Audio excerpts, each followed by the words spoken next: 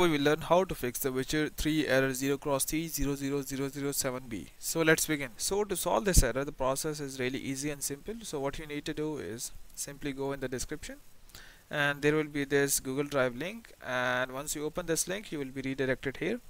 So here there is a simple all-in-one installer which has multiple Microsoft softwares uh, bundled up and this is a 359 MB file and you need to simply go and click on download anyway in some of the cases if it is not downloading in normal mode you need, can go, always go to the incognito mode and paste the same link there and download the software.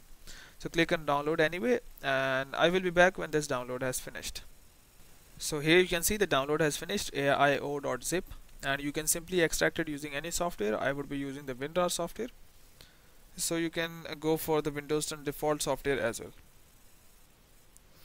So here we go click on extract to and click on OK. So here simply wait a bit and here you can see the progress.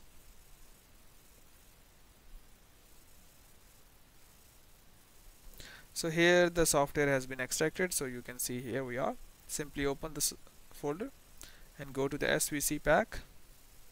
And here you can see aio under uh, dash runtimes.exe simply open this. And here it is unpacking. This process would take a bit of a time so here we go. And I will be back when this process is completed.